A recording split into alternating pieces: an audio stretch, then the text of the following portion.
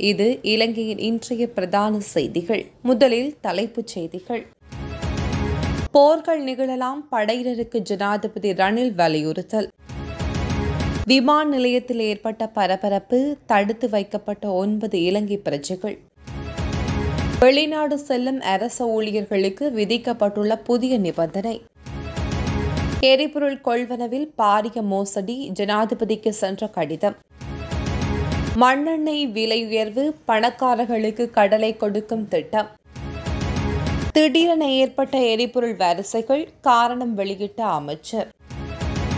கொழும்பில் நானூறு மில்லியன் ரூபாய் செலவில் ராஜபக்சேயினர் வீடு கொள்வனவு வெளியாகியுள்ள தகவல். இலங்கைக்கு கடன் வழங்குநர்களின் கூட்டத்தை ஏற்பாடு செய்ய ஜப்பான் தயார் சீனா தயாரா? இன்றைய வானிலை முன்னறிவிப்பு. கோட்டபாயவுக்கு பிரதமர் பதவி நாங்கள் எதிர்ப்பு தெரிவிக்கப் போவதில்லை. இனி தொடர்பென விரிவான செய்திகள். எதிர்காலத்தில் நாட்டில் தரை வான் கடலில் மாத்திரமன்றி சைபர் வெளியிலும் போர்கள் நிகழலாம். எனவே எமது படையினர் அத்தகைய தொழில்நுட்ப போருக்கு தேவையான அறிவை பெற்றிருக்க வேண்டும் என ஜனாதிபதி ரணில் விக்ரமசிங்க வலியுறுத்துகின்றார். ஜெனரல் சர் ஜான் கொத்தலாவை பாதுகாப்பு பல்கலைக்கழகத்திற்கு ஜனாதிபதி நிறங்கள் மற்றும் பல்கலைக்கழக நிறங்களை வழங்கும் நிகழ்வில். நேற்று பிற்பகல் இடம்பெற்ற நிகழ்வில் கலந்து கொண்டு உரையாற்றும் போதே ஜனாதிபதி ரணில் விக்ரமசிங்க மேற்கண்டவாறு தெரிவித்துள்ளார். வெற்றிகரமான ராணுவத்தை உருவாக்குவதற்கு ஒழுக்கம் பயிற்சி மற்றும் அறிவு அவசியம் என சுட்டிக்காட்டிய ஜனாதிபதி சர் ஜான் கொத்தலாவை பாதுகாப்பு பல்கலைக்கழகம் இந்த விடயங்கள் அனைத்தையும் ஏற்கனவே நிறைவேற்றி வருவதாகவும் குறிப்பிட்டார். கொத்தலாவை பாதுகாப்பு பல்கலைக்கழகத்திற்கு வருகை தந்த ஜனாதிபதிக்கு ராணுவ மரியாதை செலுத்தப்பட்டதுடன் ஜனாதிபதியின் வர்ணங்கள் மற்றும் பல்கலைக்கழக கொடி வர்ணங்களுக்கு சர்வமத ஆசிர்வாதமும் இடம்பெற்றது.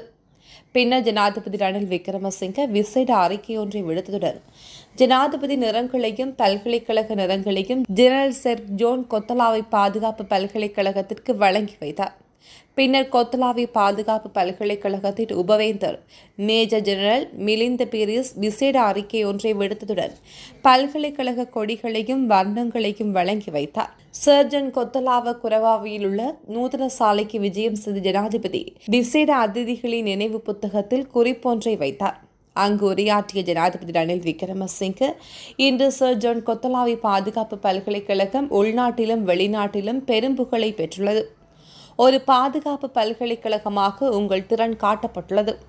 பயங்கரவாத முடிவுக்கு கொண்டு வரப்பட்ட காலத்தில் போராடிய பல அதிகாரிகள் இந்த பல்கலைக்கழகத்தில் பட்டம் பெற்றவர்கள். எனவே இந்த பல்கலைக்கழகத்தை நாம் பாதுகாக்க வேண்டும். மேலும் திறமையான அதிகாரிகளை நமது இராணுவத்தில் சேர்க்க விரும்புகிறேன் என்று கூறியுள்ளார்.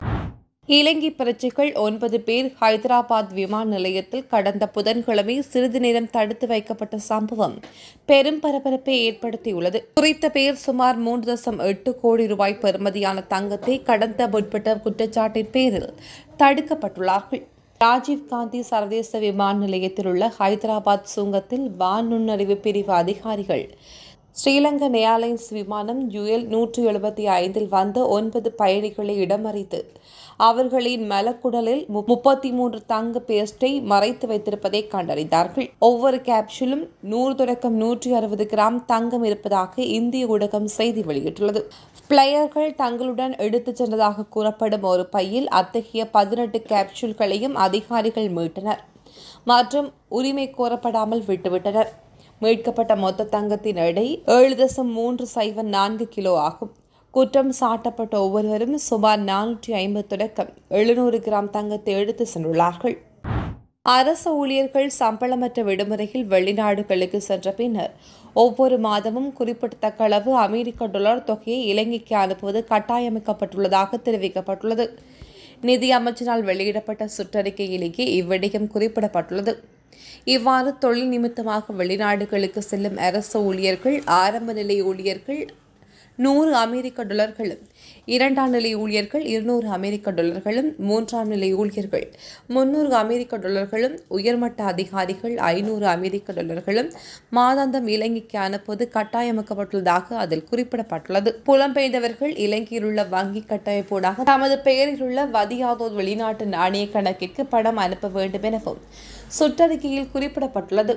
அரசு ஊழியர்கள் தங்களது சிரேஷ்டத்துவத்திற்கு பாதிப்பு ஏற்படாதவாறு சம்பளமற்ற விடுமுறையில் வெளிநாடுகளுக்கு தொழிலை மேற்கொள்ளலாம் எனவும் சம்பளமற்ற விடுமுறை காலம் நிறைவடைந்ததை அடுத்து மீண்டும் அரசு சபையில் இணைத்துக் கொள்ளலாம் எனவும் அதில் குறிப்பிடப்பட்டுள்ளது. இலங்கைக்கு எரிபொருள் கொள்வனவு நடவடிக்கையில் இடம்பெறும் சந்தேகத்துக்குரிய செயற்பாடுகள் தொடர்பில் விசாரணை நடத்துமாறு கோரி நாடாளுமன்ற உறுப்பினர் பாட்டலி சம்பிக்க ரணவுக்கு ஜனாதிபதி ரணில் விக்ரமசிங்கவுக்கு கடிதம் அனுப்பியுள்ளார். இந்த கடிதம் நேற்று அனுப்பி வைக்கப்பட்டுள்ளதாக தகவல் வெளியாகியுள்ளன. எரிபொருள் கொள்வனவு தொடர்பில் கணக்காய்வாளர் நாயகம் அல்லது வேறு தரப்பினரால் தொழில்சார் தகுதியுடையவர்களின் உதவியுடன் முறையான விசாரணை நடத்தப்பட வேண்டும் எனவும் இதன்போது வலியுறுத்தப்பட்டுள்ளது. இது போலீஸ் திணைக்களத்தால் நடத்த முடியாத தொழில்நுட்ப விசாரணை எனவும் மேற்படி கடிதத்தில் தெரிவிக்கப்பட்டுள்ளது. இவர்களுக்கு ரஷ்யா கச்சா எண்ணெயை வழங்குவதில் பிரெட் சுட்டன் இருப்பதாகவும் பெரும் தொகையான டொலர்கள் மூலம் தரப்பினர்களின் கைகளுக்கு செல்கிறது என்றும் அந்த கடிதத்தில் குறிப்பிடப்பட்டுள்ளது. இந்த நிலை காரணமாக ஒரு லிட்டர் எரிபொருளுக்கு நாற்பத்தி ஆறு ரூபாய் முதல் அறுபத்தி ஒன்பது ரூபாய் வரை கூடுதல் விலையை வாடிக்கையாளர் செலுத்த வேண்டியுள்ளது. நாடாளுமன்ற உறுப்பினர் பாட்டலி சம்பிக்க ரணவக்கவினால் ஜனாதிபதி ரணில் விக்ரமசிங்கவுக்கு அனுப்பி வைக்கப்பட்ட கடித தரவுகளுடன் விரிவாக முன்வைக்கப்பட்டுள்ளதாக கூறப்படுகிறது.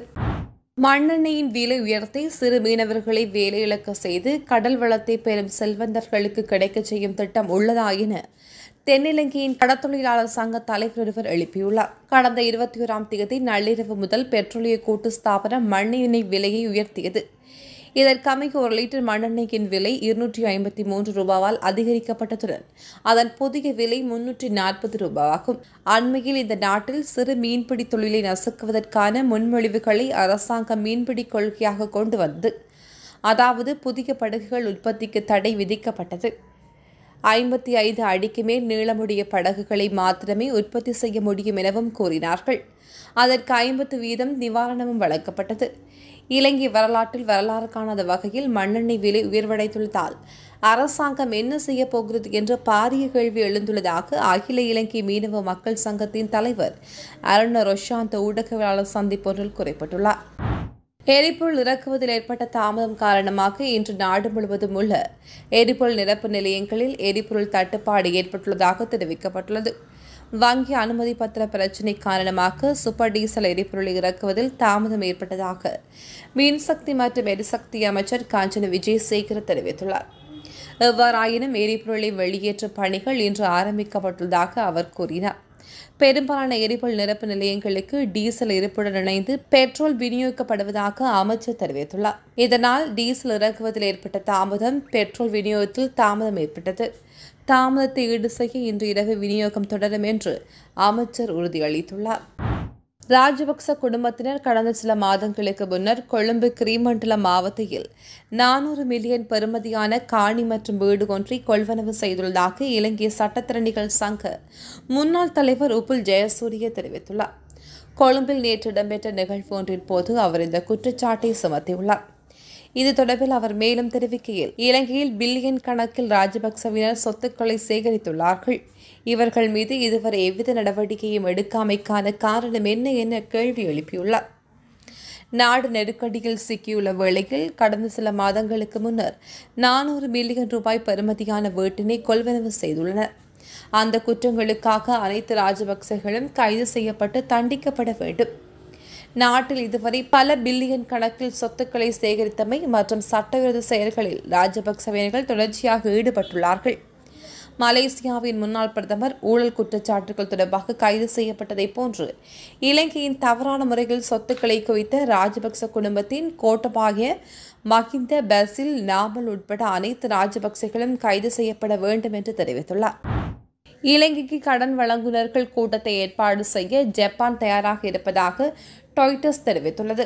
சுதந்திர தினத்துக்கு பின்னர் இலங்கையை அதன் மோசமான கடன் நெருக்கடியிலிருந்து மீட்பதை நோக்கமாக கொண்ட அனைத்து கடன் வழங்கும் நாடுகளிடையே பேச்சுவார்த்தைகளை நடத்துவதற்கு டோக்கியோ தயாராக உள்ளது. எனினும் அதில் இலங்கையின் முன்னணி கடன் வழங்குநரான சீனா இணையுமா என்பது தெரியவில்லை. அத்துடன் இலங்கையின் நிதி பற்றிய தெளிவின்மை இன்னும் உள்ளதாகவே டொய்டர்ஸ் தெரிவித்துள்ளது. இரண்டாயிரத்தி இருபதாம் ஆண்டின் இறுதியில் இருதரப்பு அடிப்படையில் இலங்கையின் கடன் ஆறு தசம் இரண்டு பில்லியன் டாலர்கள் என மதிப்பிடப்பட்டுள்ளது. இந்த நிலையில் இதனை தீர்ப்பதற்கான செயற்முறையை விரிவுபடுத்தும் பட்சத்தில் சீனாவுடனான அத்தகைய சந்திப்பிற்கு ஜப்பான் தலைமை தாங்கும் என்று தெரிவிக்கப்பட்டுள்ளது. ஏற்கனவே கடன்களை மறுசீரமைப்பு தொடர்பான பேச்சுவார்த்தைக்கு பிரதான கடன் வழங்கும் நாடுகளை அழைக்குமாறு ஜப்பானை இலங்கை கோரும் என்று இலங்கையின் ஜனாதிபதி ரணில் விக்ரமசிங்க தெரிவித்திருந்தார். படுகொலை செய்யப்பட்ட முன்னாள் பிரதமர் ஷின்போ அபேயின் இறுதி சடங்கில் கலந்து கொள்ளும் போது அடுத்த மாதம் டோக்கியோவில் பிரதமர் புமியோ கிஷிடாவுடன் இந்த விவகாரம் குறித்து விவாதிக்க உள்ளதாக அவர் குறிப்பிட்டிருந்தார். இந்த நிலையில் ஜப்பானிய தரப்புகளின் இந்த முயற்சி தொடர்பில் ஜப்பானிய வெளியுறவு அமைச்சரகம் கருத்து தெரிவிக்க மறுத்துவிட்டது. மேல் சப்ரகமுக மற்றும் வடமேல் மாகாணங்களிலும் கண்டி நுவரெலியா காலி மற்றும் மாத்திரை மாவட்டங்களிலும் பல தடவைகள் மழை பெய்யும் என எதிர்பார்க்கப்படுகிறது. சாப்ரகமுக மாகாணத்திலும் கண்டி நுவரெலியா மற்றும் களுத்துறை மாவட்டங்களிலும். சில இடங்களில் ஐம்பது மில்லிமீட்டருக்கு அதிகமான ஓரளவு பலத்த மழை வீழ்ச்சி எதிர்பார்க்கப்படுகிறது. நாட்டின் ஏனைய பிரதேசங்களில் பல இடங்களில் மாலையில் அல்லது இரவில் மழையோ அல்லது இடியுடன் கூடிய மழையோ பெய்யக்கூடிய சாத்தியம் காணப்படுகிறது. இலங்கையில் முன்னாள் ஜனாதிபதி கோட்டபாய ராஜபக்ச நாட்டிற்கு வருகிறதன் பின்னர் பிரதமர் பதவியை ஏற்றுக்கொண்டால் அவருக்கு எதிர்ப்பு தெரிவிக்கப் போவதில்லை என ஸ்ரீலங்கா பொதுஜன பேரவையின் பிரதிநிதிகள் தெரிவித்துள்ளார்கள். நேற்றைய தினம் நடைபெற்ற ஊடகவியலாளர் சந்திப்பில் அவர்கள் இதனை தெரிவித்துள்ளார்கள். அங்கு ஊடகவியலாளர் ஒருவர் கோட்டபாய ராஜபக்சவுக்கு பிரதமர் பதவியை வழங்க விருப்பமா என வினவினார். அதற்கு பதிலளித்த ஸ்ரீலங்கா பொதுஜன பிரிவினர் நாடாளுமன்ற உறுப்பினர் மதுர விதானக்கே எங்களுக்கு விருப்பம்தான். கண்டிப்பாக வாக்களிப்போம். ஸ்ரீலங்கா பொதுஜன பிரிவினர் நாடாளுமன்ற உறுப்பினர் மேஜர் பிரதீப் உந்துகொட கோட்டபாய ராஜபக்ச விரைவில் இந்த நாட்டுக்கு வர வேண்டும். அவருக்கு பாதுகாப்பு வழங்க வேண்டும். எங்களுக்கு ஆட்சேபனை இல்லை. அவர் அறுபத்தி ஒன்பது லட்சம் மக்களின் வாக்குகளால் தேர்ந்தெடுக்கப்பட்ட ஜனாதிபதி. அப்படியானால் அவர் பிரதமராவதை யாருக்கு தான் பிடிக்காது. நான் அதற்கு எதிரானவன் இல்லை என அவர் கூறியுள்ளார். இதுபோன்ற செய்திகளை உடனுக்குடன் அறிந்து கொள்ள அகிலத்துடன் இணைந்திருங்கள். புலம்பெயர் வாழ் மக்களே தாயகத்தில் வசிக்கும் உங்கள் உறவினர்களுக்கு அத்தியாவசிய பொருட்கள் அன்பளிப்புகள் கொடுத்திட இலகு வழியை தேடுகின்றீர்களா?